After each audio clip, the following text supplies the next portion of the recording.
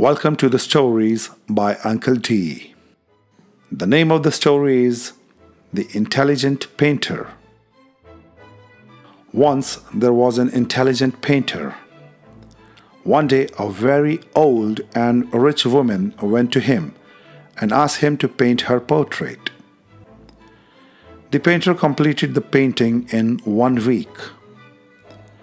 When the old woman went to get the painting, her dog accompanied her.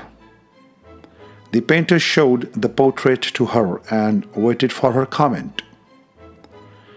The old woman turned to her dog and asked, Moti, how is my portrait? But Moti did not even look at the painting. The old woman angrily said, I'll not pay you for this painting. What have you made? Even my dog does not recognize me. The painter replied, Come in the morning. By then I'll rectify my mistake. Next morning, the old woman came again with her dog. This time the dog started licking the painting. Actually, the painter had rubbed a piece of meat at the lower edge of the painting during the night.